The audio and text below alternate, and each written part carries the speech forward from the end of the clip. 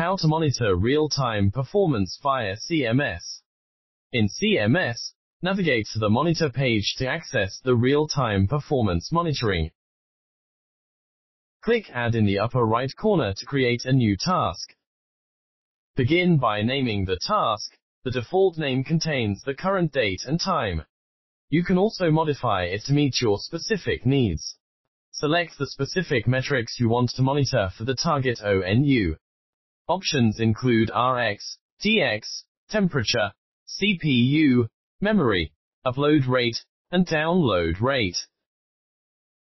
Next, select the ONUs that need to be monitored. You can filter target ONUs by group, vendor, model, SN, MAC, and firmware version.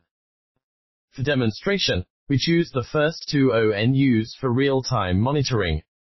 Click Perform to initiate the monitoring task. Navigate to the real-time monitoring page, where the results of the selected metrics are visually presented through interactive charts. The charts use different colors to indicate different states.